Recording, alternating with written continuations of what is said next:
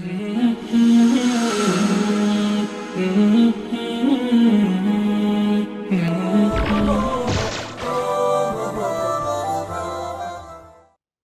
الرحمن الرحیم یا ایوہ النبی حرد المؤمنین علی القتال محترم سامعین مسلمانوں کے لیے جنگی تیاری کرنے کے بنیادی طور پر تین اصول ہیں۔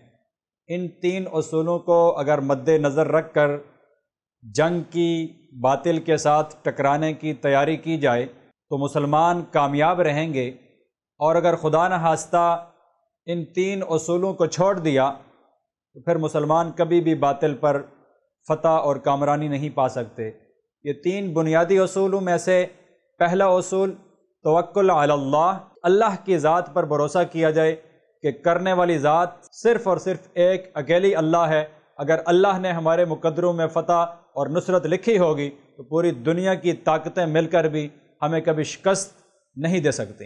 حسب اللہ و نعم الوکیل، نعم المولا و نعم النصیر کو اپنا بنیادی نقطہ بنانا چاہیے۔ اور اس کے گرد انسان کو سوچنا چاہیے کہ کرنے والی ذات صرف اور صرف ایک اکیلی اللہ کی ہے۔ جب اللہ ہمارے ساتھ ہیں چاہے ہمارے مقابلے میں پوری دنیا کا کفر آ جائے، وہ ہمارا کچھ بھی نہیں بگاڑ سکے گا۔ اللہ جب ہماری مدد کرنے والے ہیں، تو پھر کوئی ہمارا کیا بگاڑ سکتا ہے؟ تو تین بنیادی نکات میں سے پہلا نقطہ یہ ہے، توکل اللہ اللہ کی ذات پر بھروسہ کیا جائے کہ اللہ جب ہمارے ساتھ ہیں، کوئی ہمارا کچھ نہیں بگاڑ سکتا۔ اس پہلے نقطے کے ساتھ ساتھ دوسرا نقطہ، مشاورت کرنا، مشورہ کرنا، اہل علم کے ساتھ، صاحب علم کے ساتھ، جن کو اللہ نے علم دیا ہے فہم دیا ہے۔ سوسائٹی کے پڑھے لکھے افراد کے ساتھ چاہے وہ مختلف شعبوں سے تعلق رکھنے والے ہوں، ان سے مشورہ کرنا کہ بھائی یہ مشکل وقت ہماری قوم پر، ہمارے ملک پر آ پڑا ہے۔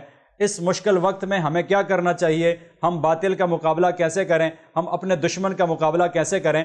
تو مشورہ کرنا، اہل علم کو بلا کر ان کی مجلس منعقد کرنا، ان کی میٹنگ کرنا، ان سے ان کی رائے پوچھنا، ان سے ان کا مشورہ پوچھنا۔ جب ہم سب سے مشورہ لیں گے اور ہر اہل علم اپنے علم کی، علم کے مطابق مشورہ دے گا اور پھر جب اجتماعی طور پر کسی ایک بات پر متفق ہوں گے اور کوئی ایک فیصلہ کیا جائے گا، انشاءاللہ العزیز اس فیصلے کے اندر خیر ہوگی۔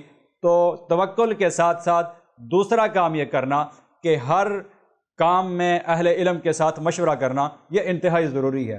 جب یہ دو باتیں ہو جائیں، اس کے ساتھ تیسری بات کہ مالی اسباب کو تیار کرنا، اپنی طاقت کے بقدر جتنا اللہ نے وسعت دی ہے، جتنا اللہ نے طاقت دی ہے، اس کے مطابق اپنی مالی تیاری کرنا، اپنی جہادی تیاری کرنا، اس کے اندر جتنے بھی جدید اسلحہ ہے، چاہے وہ ٹینک ہو، چاہے وہ توپ ہو، چاہے وہ کلیشن ہو، چاہے ایٹم بم ہو یا جدید ٹیکنالوجی ہو، ان سب کو تیار کرنا دشمن کے مقابلے کے لیے یہ بھی ضروری ہے، جب ہم یہ تین کام کریں گے، اللہ پر توکل کریں گے، آپس میں مشورہ کریں گے اور اس کے بعد مالی طور پر تیاری کریں گے، جہادی اور اسلحہ کے اعتبار سے تیاری کریں گے، جب یہ تین کام کریں گے تو انشاءاللہ پھر دشمن پر غلبہ پانا، دشمن کو زیر کرنا اور دشمن کو شکست دینا وہ کبھی بھی وہ ناممکن نہیں ہوگی، کبھی بھی ہمارے لیے مشکل نہیں ہوگی۔ اللہ سے دعا ہے کہ اللہ تعالی ہمیں ان تین بنیادی نکات کے اوپر عمل کرنے کی توفیق عطا فرمائے اور ہر باطل کے مقابلے میں